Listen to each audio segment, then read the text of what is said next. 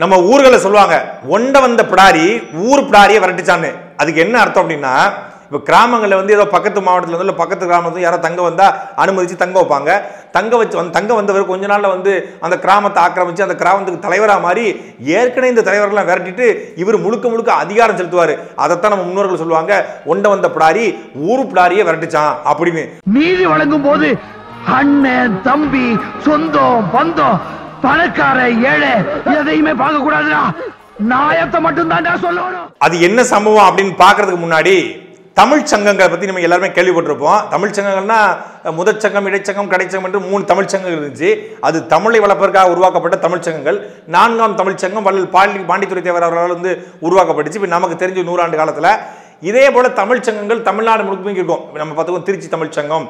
பெரம்பலூர் தமிழ்ச்சங்கம் சென்னை தமிழ்ச்சங்கம் சங்கம் தமிழ்ச்சங்கம் தமிழ் சங்கம் திருநெல்வேலி தமிழ் சங்கம் என்று இதே போல புலம்பெயர்ந்து தமிழ்நாட்டுக்கு வெளியே போய் புழைப்பு பிழைப்பு தேடி உழைப்புக்காக தொழிலுக்காக சென்றிருக்கிற தமிழர்கள் தங்களுக்குள் வந்து ஒற்றுமை ஏற்படணும்.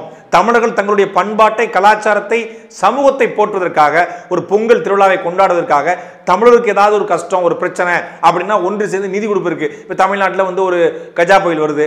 மலேசியாவில் வாழ்கிற தமிழர்கள் ஐரோப்பாவில் வாழ்கிற தமிழர்கள் அமெரிக்காவில் வாழ்கிற தமிழர்கள் தங்களுடைய நிதிகளை கொடுப்பதற்காக தமிழருக்குள்ள ஒரு ஒற்றுமை வேணும் உருவாக்கப்பட்ட சங்கங்கள் தான் மலேசிய தமிழ்ச்சங்கம் ஐரோப்பிய தமிழ்ச்சங்கம் என்று இருக்குது. அதுபோல உருவாக்கப்பட்ட ஒரு தமிழ்ச் சங்கம் தான் வட அமெரிக்க தமிழ்ச்சங்க பேரவை. இந்த வட அமெரிக்க தமிழ்ச்சங்க பேரவை என்பது ஃபெட்னா என்று அழைக்கப்படுகிறது. இது கிட்டத்தட்ட ஐம்பத்தொம்போது தமிழ்ச்சங்களை கூட்டமைப்பு. கனடா தமிழ்ச்சங்கம் சிகாகோ தமிழ்ச்சங்கம் என்று அமெரிக்காவை சுற்றி இருக்கிற நாடுகளுடைய எல்லா தமிழ்ச்சங்களையும் ஒருங்கிணைத்த தமிழ்ச்சங்கம் தான்.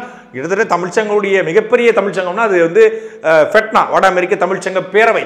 இந்த பேரவை உருவாக்கப்பட்ட மிகப்பெரிய நோக்கம் என்பது அமெரிக்காவில் உழைக்கிற கிட்டத்தட்ட லட்சக்கணக்கான தமிழர்கள் ஈழத் தமிழர்கள் தமிழ்நாட்டைச் சேர்ந்த தமிழர்கள் லட்சக்கணக்கில் இருக்காங்க. இவர்களை ஒருங்கிணைத்து இவர்களுக்குள் தமிழ் என்ற உணர்வு தமிழர் என்ற உணர்வு இன உணர்வு மொழி உணர்வு வர வேண்டும். இவருடைய பண்பாடு கலாச்சாரங்களை போற்ற வேண்டும் என்ற காரணத்திற்காக இது உருவாக்கப்பட்டது. வெளிநாட்டில் போய் அமெரிக்காவில் போய் வேலை பார்த்தாலும் நாங்கள் தமிழர்கள் நாங்கள் இனத்தால் மொழியால் பண்பாட்டால் கலாச்சாரத்தால் நாங்கள் தமிழர்கள் என்று காட்டுவதற்காக உருவாக்கப்பட்ட இந்த தமிழ்ச்சங்கம் மிக சிறப்பாக இருந்தது. ஏ ஆர் ரகுமான் அவர்கள் தமிழில் வந்து ஆஸ்கார் விருது வாங்கும்போது தமிழில் பேசிட்டாங்க ஒரே காரணத்திற்காக தமிழ் ரத்னா என்ற விருது. இப்போ இந்தியாவில் வந்து பாரத ரத்னா என்ற விருது வந்து உயர்ந்த விருதாக கருதப்படுகிறது. ஆனால் அந்த பாரத ரத்ன விருது வந்து தமிழ்நாட்டை சார்ந்தவர்கள் தமிழர்கள் என்றாலே புறக்கணிக்கப்பட்டு பாரத ரத்ன விருது கொடுக்க மாட்டாங்க. ஆனால் அப்படிப்பட்ட நிலையில் தமிழ் ரத்னா என்ற விருதை ஏ ஆர் ரகுமானுக்கு இந்த அமெரிக்க தமிழ் சங்கம் கொடுத்தது. இதுபோல தமிழ் தமிழ் சார்ந்தவர்களை கொண்டாடுகிற ஒரு சங்கமாக இந்த சங்கம் இருந்தது. ஈழ தமிழர்களுக்காக இந்த சங்கம் போராடி இருக்கிறது. தமிழ்நாட்டில் என்ன பிரச்சனை இருந்தாலும் முதலில் குரல் கொடுக்கிற சங்கமாக இந்த வட அமெரிக்க தமிழ் சங்க பேரவை முன்றைய காலத்தில் இருந்திருக்கிறது. அப்படி ஒரு உன்னதமான நோக்கத்தை கொண்டு தமிழ் உணர்வு மிக்க தமிழர்களை ஒருங்கிணைக்கிற இந்த தமிழ் சங்கத்தில் இன்னைக்கு தமிழர் அல்லாதவர்கள் தலைவர்களாக மாறுகிற நிலைமை மாறி இருக்கிறது இப்ப தமிழ்நாட்டில் நம்ம பார்க்குறோம் தமிழ்நாட்டை தமிழர் ஆள வேண்டும் என்கிற ஒரு சொல்லை சொல்கிறோம். இது எந்த இனத்துக்கும் இல்லை. கேரளாவை மலையாளி ஆள வேண்டும் என்று யாரும் சொல்றதில்லை. ஆந்திராவை தெலுங்கு ஆளணும்னு யாரும் சொல்றதில்லை. ஏன்னா நம்ம கர்நாடகாவை கர்நாடகா ஆளணும் என்று யாரும் சொல்றதில்லை. ஏன்னா அந்தந்த இனத்தை அவனவன் ஆள்றான். தமிழ்நாட்டில் மட்டும்தான் தமிழ்நாட்டை தமிழர் ஆள வேண்டும் என்ற சொல்கிற ஒரு நிலைமை இருக்கு. ஏன்னா ஐம்பது ஆண்டு காலமாக தமிழ்நாட்டை ஆண்ட முதலமைச்சர்கள் யாரும் தமிழர் இல்ல காமராஜருக்கு பிறகு பத்து வருஷத்துக்கு பிறகு இன்னைக்கு ரொம்ப காலத்துக்கு பிறகு இபிஎஸ் வந்திருக்காரு. அவரும் தமிழ் உணர்வுள்ள தமிழரா என்றால் அது கேள்விக்குறிதான். அப்படிப்பட்ட சூழ்நிலை தமிழ்நாட்டை தமிழர் ஆள வேண்டும் என்ற முழக்கத்தை வைக்கிறோம். அதே போல தென்னிந்திய நடிகர் சங்கம் என்று அமைப்பு இருக்கிறது. ஆனால் பேர் தென்னிந்திய நடிகர் சங்கம் அது தமிழ்நாட்டில் தமிழ் நடிகர்களை வந்து ஒருங்கிணைக்கிற ஒரு சங்கமாக இருக்கிறது. அந்த சங்கத்திற்கு கூட விஷால் என்ற ஆந்திராவிலிருந்து வந்த ஒரு ஒருவர் தான் வந்து தலைவராகக்கூடிய சூழல் இருக்கு. இப்படி தமிழர்களுடைய அமைப்பில் எல்லாருமே தமிழர் அல்லாதவர்கள் வர்றாங்க என்ற கொதிநிலையில் தமிழ்நாடு இருக்குது.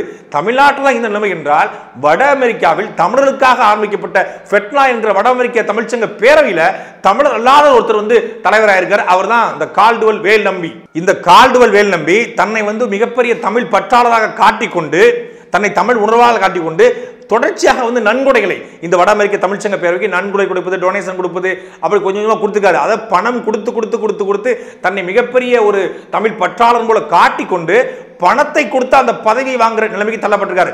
அமெரிக்க வட அமெரிக்க தமிழ்ச்சங்க பேரவை பொறுத்தளவில் யார் துணைத் தலைவராக வர்றாங்களோ அவங்க தான் தலைவராக வர முடியும். துணைத் தலைவர் வரைக்கும் வந்து ஒரு போட்டி வச்சு தேர் தேர்தல் வச்சு நடத்துறாங்க. தலைவர் பதவிக்கு வந்து நேரடியாக துணைத் தலைவரே அன்ன போஸ்டாக வந்து தலைவராக முடியும் என்ற நிலைமை இருக்கிறது. அப்படி துணைத் தலைவராக இருந்த இந்த கால்டெவல் வேல் நம்பி இன்னைக்கு தலைவராக மாறி இருக்கிறார் தலைவராக மாறினது மட்டும் பிரச்சனை இல்லை. இந்த தலைவர் பதவிக்கு கீழே இருக்கக்கூடிய செயற்குழு பொறுப்பாளர்கள்.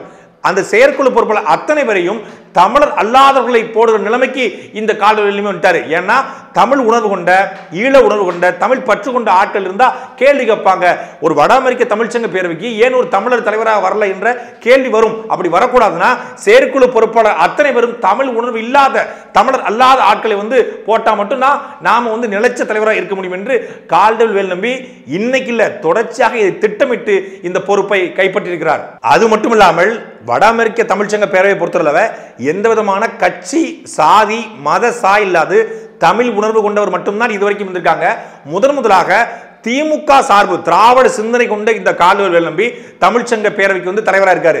இவர் திமுகவோட மிகப்பெரிய நெருக்கமான நட்பு கொண்டவர் திமுகவுடைய பினாமி என்று கூட சொல்றாங்க. அதுக்கு மிகப்பெரிய நிறைய சான்றுகள் இருக்கு. குறிப்பா ரெண்டாயிரத்தி பத்தொன்பது சிகாகோ நடைபெற்ற தமிழ்ச்சங்க மாநாட்டுக்கு திமுகவுடைய தலைவர் ஸ்டாலினை அழைக்க வேண்டும் என்று ஒரு கோரிக்கை வச்சிருக்காரு. பொதுவாக இந்த தமிழ்ச்சங்க பேரவைகளில் வந்து தமிழ்ச்சங்க மாநாடு வருஷ வருஷம் நடக்கும். ஒன்று உடல் நடக்கும். இந்த ஒன்று உடல் தமிழ்நாட்டிலிருந்து அரசின் சார்பாக தமிழ்நாடு அரசின் சார்பாக யாராவது ஒரு பிரதிநிதி வந்து போவாங்க. அது வந்து அது திமுகவை இருந்தாலும் அதிமுக அழைப்பது வழக்கம். ஆனா ஆட்சியில் எந்த கட்சி இருக்கிறதோ அந்த கட்சியின் பிரதிநிதி தான் ஒரு அமைச்சரை அழைப்பது வழக்கம். முதன்முறையாக எதிர்க்கட்சி அழைக்கணும் அப்படின்னு சொல்லியிருக்காரு என்றால் இவருடைய நோக்கம் என்ன? அப்போ திமுகவோடு நேரடியாக தொடர்பு கொண்டு வட அமெரிக்க தமிழ்ச்சங்க பேரவையை திமுகவை ஆதரிக்கிறது. அப்போ திமுக நாளைக்கு தி- இன்னைக்கு திமுக வந்து தேர்தல் போட்டியை விட பல வியூகங்கள் வைக்கிறது. பிரசாந்த் கிஷோர் போன்ற ஆட்கள் வந்து இறக்குறாங்க. தமிழ் உணர்வுள்ளவர் வந்து திமுகவை ஆதரிக்கல என்ற குற்றச்சாட்டு வந்திருக்கு. இன்னொன்று ஈழத்தமிழுக்கு திமுக துரோகம் செய்து விட்டது. அதனால ஈழத்தமிழுக்கு திமுகவை வெறுக்கிறாங்க. ஈழ ஆதரவு உள்ளவர் வந்து திமுக வந்து வெறுக்கிறாங்க என்ற ஒரு நிலைமை இருக்கிறது. அந்த நிலைமை ஒடிக்க புலம்பெயர் தமிழர்கள் குறிப்பாக வட அமெரிக்க தமிழ்ச்சங்க பேரவை ஃபெட்னாவே வந்து திமுகவை ஆதரிக்கிறது என்று நம்ப வைப்பதற்காக ஈழ ஆதரவு புலம்பெயர் ஆதரவு ஒட்டுமொத்தமான தமிழர்களுடைய உலகத் தமிழர் ஆதரவு திமுக தான் இருக்கு என்று ஒரு நம்ப வைப்பதற்காக திட்டமிட்டு இந்த கால்வல் வேலம்பியை மேலே கொண்டு போயிருக்காங்க. இது இன்னைக்கு நேற்று நடந்த வேலை இல்லை நான்காண்டு காலமாக கூட கொஞ்சம் கொஞ்சமாக திட்டமிட்டு பணங்களை கொஞ்சம் கொஞ்சமாக டொனேஷன் நன்கொடை கொடுத்து கொடுத்து கொடுத்து கால்வல் வேலம்பி வந்து பெரிய ஆள் மாதிரி காட்டி இன்னைக்கு தலைவர் பதவியை கைப்பற்றி இப்போ ஒட்டுமொத்த செயற்குழுவில் இருக்கிற பொறுப்பாளர்களையும் வந்து தமிழர்களை போட்டு அதுவும் திமுக ஆதரவு உள்ள திராவிட ஆதரவு உள்ள ஆட்களை மட்டும்தான் அமெரிக்காவில் வந்து கால்வல் வேலம்பி தேர்ந்தெடுப்பார். குறிப்பாக தமிழ் உணர்வுள்ள ஈழத்து ஆதரவு உள்ள ஆட்களை தேர்ந்தெடுக்க மாட்டார். அப்படி உருவாக போகுது அப்படி உருவானா? வட அமெரிக்க தமிழ்ச்சங்க பேரவை திமுகவுக்கு வருகிற சட்டமன்றத்தில் நேரடியாக ஆதரவு கொடுக்கும். ஆதரவு கொடுத்தால் தமிழ்ச்சங்கங்களே ஆதரவு கொடுத்து திமுக இங்கே ஒரு பொய் பிரச்சாரத்தை மேற்கொள்ளும். அதற்காக திட்டமிட்டு உருவாக்கப்பட்டவர் தான் இந்த கால்டோல் வேல்நம்பி. அது மட்டும் இல்லாமல் இந்த கால்டோல் வேல்நம்பி என்பவர் இப்போ நம்ம ஓலைச்சுவடி திருட்டு என்று குற்றச்சாட்டுகள் வந்து தொடர்ச்சியாக வந்து கொண்டிருக்கிறது. தமிழ் மரபு அறக்கட்டளை. இந்த தமிழ் மரபு அறக்கட்டளையுடைய கண்ணன் மற்றும் சுபாசினி அவர்களோடு மிக நெருங்கிய நட்போடு இருப்பவர் தான் இந்த கால்டுவல் வேல்நம்பி. கால்டுவல் வேல்நம்பியுடைய மனைவி புஷ்பா கால்டுவெல் வந்து இந்த தமிழ் மரபு அறக்கட்டளை அதாவது ஓலைச்சுவடியை திருடுகிற இந்த கும்பலுக்கு தமிழ் மரபு அறக்கட்டளைக்கு வந்து அட்வைசரி போர்டில் வந்து மிகப்பெரிய பொறுப்பு இருக்கக்கூடியவர் தான் கால்வெல் வேல்நம்பியுடைய மனைவி புஷ்பா கால்வெல் அது கடந்த காணொலியில் நம்ம சொல்லியிருந்தோம். அது அப்போ இப்படி ஒட்டுமொத்தமாக தமிழர்களுடைய வரலாற்றை அளிக்கிற இது ஓலைச்சுவடிய திருடர் கும்பலோடு தொடர்பு இருக்கிற அதோடு நெருங்கிய நட்பில் இருக்கக்கூடிய இவர் இந்த கால்வெல் நம்பி வட அமெரிக்க தமிழ்ச்சங்க பேரவை தலைவராக வந்தால் அது ஒட்டுமொத்தமான ஃபெட்னா அமைப்புக்கே மிகப்பெரிய அவமானம். இதைத்தான் நம்ம ஊரில் சொல்லுவாங்க உட்கார இடம் கொடுத்தா படுக்க பாய் அப்படி உட்கார இடம் கொடுத்ததுக்கு இன்னைக்கு ஒட்டுமொத்தமான ஃபெட்னா அமைப்பை தன்னுடைய கட்டுப்பாட்டில் கொண்டு வர துடிக்கிறார் இந்த கால் வேல் நம்பி. இந்த ஃபெட்னா அமைப்பு என்பது தங்களுடைய நேரம் தாண்டி தமிழுக்காக தமிழ் இனத்திற்காக தமிழ் மொழிக்காக உழைக்கிற தமிழ் உணர்வுள்ளவர்கள் இருக்கக்கூடிய அமைப்பு. இதில் தாங்கள் உழைக்கிற கொஞ்சம் கொஞ்சம் பணத்தை சேர்த்து தமிழ் மக்களுக்கு தமிழ் படித்தவர்களுக்கு தமிழில் வந்து தொன்றாட்ட வேண்டும் நினைப்பவர்களுக்கு வந்து உதவி செய்வதற்காக உருவாக்கப்பட்ட அமைப்பு. அதில் எல்லோரும் வந்து மெம்பராக இருக்காங்க. எல்லோரும் வந்து பணம் கொடுப்பாங்க. பல கோடி புரள்கிற இந்த வெட்னா அமைப்பில் கொஞ்சம் காசை போட்டு நிறைய காசை திருடலாம் என்ற நோக்கத்தில் கூட இந்த காலொலி எழுமி வந்திருக்கலாம். இந்த பணத்தை திமுகவுடைய பிரச்சாரத்துக்கு பயன்படுத்தலாம். அப்படி என்றால் அமெரிக்காவிற்கு போய் இப்போ நல்ல படித்து அமெரிக்காவில் போய் பிழை பிழைக்க போயிருக்கிற தமிழர்கள் கொடுக்கிற காசில் அது திமுக போகும் என்றால் இது ஒரு பச்சை துரோகம். இந்த துரோகத்தை உடனடியாக த- தடுத்து நிறுத்த வட அமெரிக்க தமிழ்ச்சங்க பேரலுக்குரிய தமிழ் உணர்வாளர்கள் தமிழ் பற்றாளர்கள் இன்னும் தமிழை நேசிக்கிற தங்கள் உயிருக்கு நிகராக நேசிக்கிற எத்தனையோ பேர் வட அமெரிக்க தமிழ்ச்சங்க பேரில் இருக்காங்க. மூத்தவர்கள் இருக்காங்க பெரியவர்கள் இருக்காங்க இளையவர்கள் இருக்காங்க. இவங்க உடனடியாக தலையிட்டு இந்த கால்வெல் வேல்நமின் பின்னாடி கூடிய இந்த போலி அரசியலை இந்த துரோக அரசியலை வெளிப்படுத்தணும். தமிழர் அல்லாதவர்கள் தமிழை தாய்மொழியாக இல்லாதவர்கள் போலி அடையாளத்தோடு அவர்கள் வந்தால் உடனடியாக அவர்கள் நீக்கிவிட்டு வட அமெரிக்க தமிழ்ச்சங்க பேரவைக்கு ஒரு தமிழர் மட்டும்தான் தலைவராக வர முடியும் ஒரு தமிழர் மட்டும்தான் பொறுப்பில் இருக்க முடியும் என்ற நிலைமையை உருவாக்குங்க. தெலுங்கு சங்கம் இருக்கு கன்னட சங்கம் இருக்கு மலையாள சங்கம் இருக்கு அங்க போய் நீங்க இருக்கலாமே. ஏன்டா தமிழ்ச்சங்க பேரவைக்கு மட்டுமே ஒரு தெலுங்கரும் கன்னடரும் மலையாளியா வந்து தலைவராக வரணும்? நாங்கள் எங்கள் மொழியை காக்க எங்கள் இனத்தை காக்க எங்கள் பண்பாட்டை காக்க எங்கள் கலாச்சாரத்தை காக்க எங்கள் முன்னோர்கள் உருவாக்கப்பட்ட அமைப்பு இந்த தமிழ்ச்சங்கம் இந்த தமிழ்ச்சங்கத்தில் தமிழர் அல்லாதவங்களுக்கு என்னடா வேலை? எப்படி அமெரிக்காவில் ஃபெட்னா என்ற அமைப்பு இருக்கிறதோ அதே போல கனா டனா என்ற ரெண்டு அமைப்பு இருக்கிறது. நிறைய அமைப்பு இருக்கு. குறிப்பா கனா டனா. இந்த கனா என்பது Kammavar association of North America. TANA என்பது Telugu association of North America. இந்த டனாவில் தெலுங்கை தாய்மொழியாக கொண்டவர் மட்டும்தான் தலைவராக முடியும். ஏன்? தெலுங்கை தாய்மொழியாக கொண்டு தான் உறுப்பினராக முடியும். தெலுங்கை தாய்மொழியாக கொண்டு தான் உறுப்பினர் ஆகணும் வேற யாரும் அங்கே போக போறது இல்லை தெலுங்கர்களை குறிப்பாக தெலுங்கை தாய்மொழியாக கொண்டவர்களை ஒருங்கிணைத்து அவர்களுக்கென்று ஒரு ஒரு கூட்டத்தை உருவாக்க இந்த டனா உருவாக்கப்பட்டு அது செயல்முறையில் இருக்கு. அதே போல கனா Kammavar association of North America தெலுங்கை தாய்மொழியாக கொண்ட தமிழ்நாட்டை சேர்ந்தவர்கள். எப்படி? தெலுங்கை தாய்மொழியாக கொண்ட தம் தெலுங்கு பேசும் தமிழ் தமிழ்நாட்டை சார்ந்தவர்களுக்கு என்று கனா தெலுங்கு மக்களுக்கு என்று தனியா ஒன்று தெலுங்கை தாய்மொழியாக கொண்ட தமிழ்நாட்டை சார்ந்தவர்களுக்கு என்று கனா என்ற அமைப்பு இருக்கிறது. இதுலையும் தெலுங்கை தாய்மொழியாக கொண்டவங்க தான் தலைவராக முடியும். அவங்க தான் தலைவர் ஆகணும். அவங்க தான் உறுப்பினர் ஆகணும். அதில் எந்த மாற்று கருத்தும் இல்லை. ஆனா இந்த கனாவிலும் இந்த டனாவிலும் தெலுங்கை தாய்மொழியாக கொண்டவர்கள் மட்டும்தான் உறுப்பினராக முடியும் தலைவராக முடியும் செயற்குள்ள வர முடியும். அது அவர்களுக்காக உருவாக்கப்பட்ட அமைப்பு. அங்க தெலுங்குல தான் இருக்கணும். அதுதான் நியாயம். அது எந்த மாற்று கருத்தும் இல்ல. எந்த தமிழனும் போயிட்டு எங்களை டனாவில் உறுப்பினராக சேர்த்துக்கோங்க கனால உறுப்பினராக சேர்த்துன்னு சொல்லி அவன் போய் நிக்க போறது இல்லை ஏன்னா தமிழனுக்கு தன்னுடைய மொழியையோ இனத்தையோ மறைக்க வேண்டிய அவசியம் கிடையாது. இன்னொரு இனத்தை வந்து ஆள வேண்டிய அவசியம் தமிழனுக்கு கிடையாது. தமிழனுக்கு அந்த இலி குணமும் கிடையாது. ஆனா கனாவில் டனாவில் தெலுங்குக்கு மட்டும்தான் வர முடியும். அது தெலுங்குக்காக உருவாக்கப்பட்ட அமைப்பு. ஆனால் தமிழனுக்காக உருவாக்கப்பட்ட ஃபெட்னா என்கிற அமைப்பில் யார் வேணாலும் வரலாம் என்றால் இது எவ்வளவு பெரிய கேவலம் இது எவ்வளவு பெரிய அசிங்கம்? அதுதான் நமக்கு இருக்க கேள்வி. மூணு லட்டு இருக்கு. மூணு லட்டு நீ ஆளுக்கு ஒரு லட்டு சாப்பிட்ற. ஆனா ஏன் லட்டை மட்டும் மூணு பேரும் சேர்ந்து நொறுக்கி சாப்பிடுவோம் அப்படின்னா நான் என்ன எங்க நாங்க என்ன அவ்வளவு கேவலமா போயிட்டுமா? எத்தனை காலத்தான எங்க மண்டையிலே மசாலா இருப்பீங்க சரி தமிழ்நாட்டில் தான் நீங்க வந்து நானும் தமிழன் நானும் தமிழன் சொல்லி எங்க கூட வந்து ஒண்டிக்கிட்டு தெரியுறீங்க. நாங்க சரி தமிழ் பற்று கொண்ட பிறமொழியாளர்கள் நாங்கள் ஏற்கிறோம்.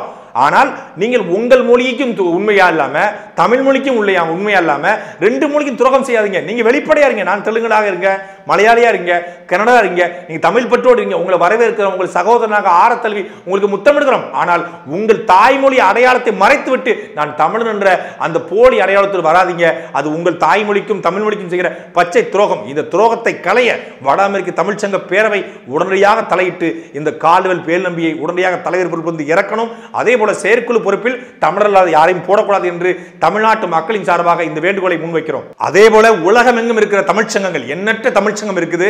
இந்த தமிழ்ச்சங்கங்களில் தமிழர்கள் மட்டும்தான் உறுப்பினராக முடியும். தமிழர்கள் மட்டும்தான் பொறுப்புக்கு வர முடியும். தமிழர்கள் மட்டும்தான் தலைவராக முடியும் என்ற நிலைமையை உருவாக்கும் இது சொல்வதே நமக்கு கேவலம் தான். தமிழ் சங்கத்தில் தலைவர் தமிழர்கள் மட்டும்தான் இருக்கணும். அது தமிழுக்காக தமிழருக்காக உருவாக்கப்பட்ட ஒரு அமைப்பில் நாங்கள் பணம் தர்றோம் அப்படிங்கிறதுக்காக நம்ம யாரையும் சேர்த்து கொள்வது அவருடைய சுய அடையாளத்தை பரிசோதனை செய்து இனிமேல் தமிழர்களை மட்டும்தான் பொறுப்பில் ஏற்கணும். தமிழர்கள் மட்டும்தான் உறுப்பினராகணும் தமிழ் சங்கங்களை தமிழர்கள் மட்டும்தான் ஆள வேண்டும். சாட்டை எடுத்து நாட்டை திருத்து. இளம் தலைமுறை தானே நீ